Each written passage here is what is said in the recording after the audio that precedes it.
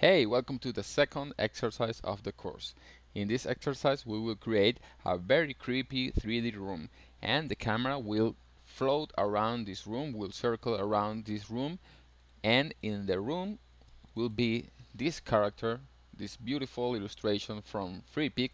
This statue will be on the center of the room.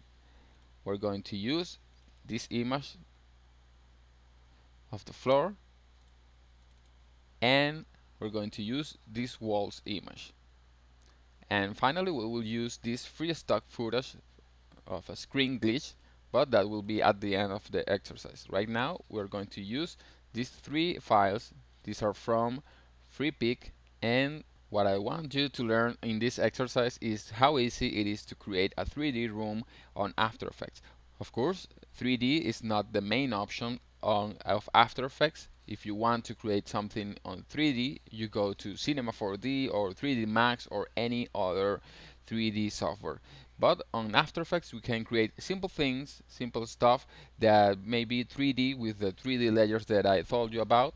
But of course it will always be better to do the 3D stuff on a 3D software. So enough talking. Now let's begin with the exercise. First let's create a new composition let's create an HDTV 1080 it could be uh, let's give it 50 seconds but will, will probably last less than that. Click OK. Now the first thing is to grab one of these walls image and we're going to throw it here on our composition let's right click and go to transform fit to comp. Okay you may notice that it's stretched out but this works for me. So we're going to make three copies of this. So we will end up with four copies of these walls. And we're going to select all of them and make them 3D with this icon here. Now they are all 3D if you rotate them you can see how they are 3D. Alright, now let's go to two views horizontal and let's set this view to custom view. Now we have this. Alright, now let, let's close in a little and the idea is to form a cube with these walls. Actually, let's make one more copy. Now we will have five of these images. Turn one of them off and we will work with these four. Now let's call this first one, let's rename this with right click and this will be our front wall. This will be the wall that is going to be in front of us. You can turn this off let's grab the next one. And we're going to select the z-axis and place it to the back. Let's turn off these ones to see how far away is the wall. Okay. Let us increase this distance I will tell you exactly the position let's set it to 2000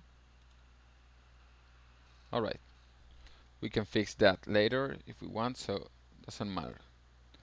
Now this one will be the back wall.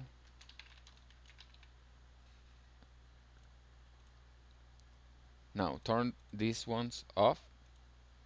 And now with this one selected let's go to the rotation. Press the key the R key on your keyboard. And on the Y rotation we will set it to 90 degrees. Okay. Now let's go to our active camera and let's set this wall here.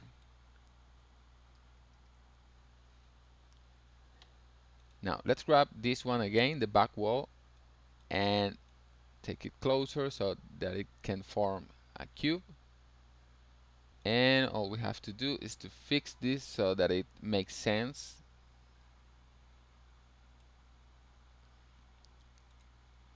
Okay so the position for this one will be 1877 now let's turn on the final wall.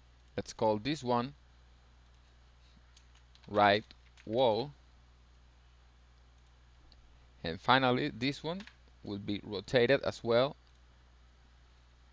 on the y-axis on 90 degrees now take this one through the Z position until it's touching the corner of the other wall, of the back wall. Like this.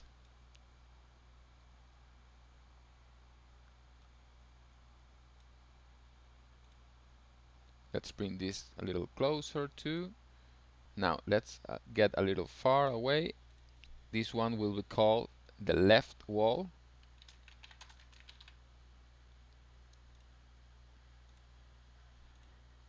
And now let's turn on our front wall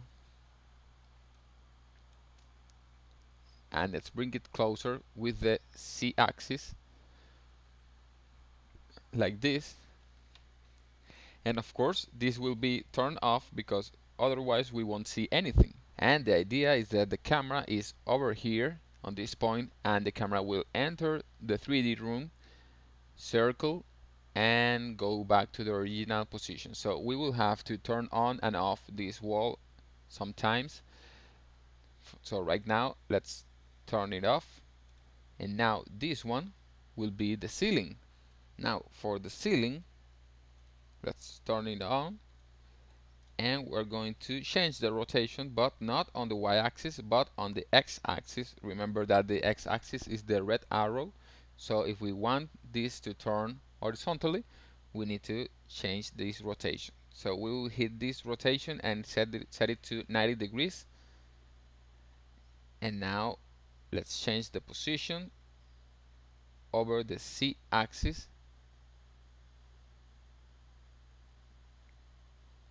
Like this and if you take these anchors you can change the scaling. Okay this looks good. Now all we need is the floor. Let's bring our floor here to our composition. Let's first call this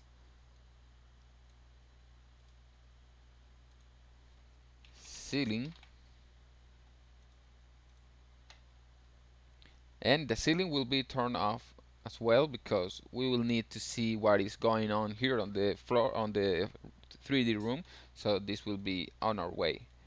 So turn off the ceiling for now. Now the floor. Let's rename this file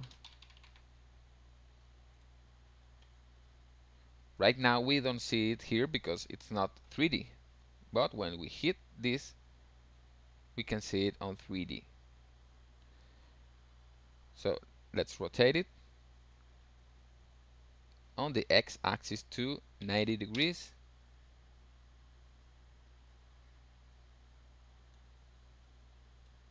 Actually it would be minus 90 degrees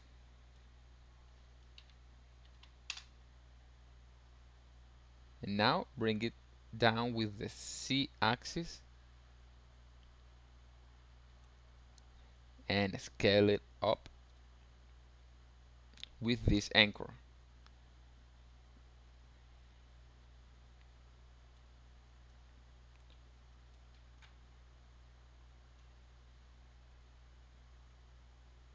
Okay let's see for a minute how it looks. With the active camera it looks good. And with the ceiling.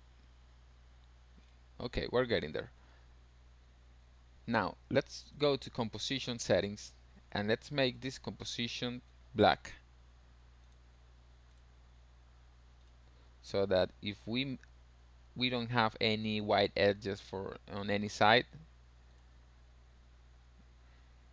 let's go again to our custom view and let's scale the floor a little on the sides like this. Let's see how it looks. Okay. That looks better now. Selecting the floor let's go to effect color correction and let's grab the levels and I'm going to place the dark tones to the right because I want the floor to be really dark like this. Set the gamma to 0.65 and the input black let's set it to 50 okay. Now let's create an adjustment layer here layer new adjustment layer. And on this adjustment layer we will add a color correction to and we will set the levels and we will add a little black to the input black. Because I want the walls to be really dark too let's leave it on 15 yeah I think this works. So right now the floor is too dark way too dark. So we need to go to the floor again and maybe instead of 15 let's set it to 30 yeah I think this is fine. Okay now it's time to bring our creepy character can see that I call it creepy character because I don't really know what it is but it's really cool but very creepy too. So I'm going to drop it here on the composition. And let's select this option so that it doesn't get pixelated. And now she will be well I am assuming that it's a she will be here in the middle of the room. So right now it looks like she's on the middle of the room but this isn't a 3d layer.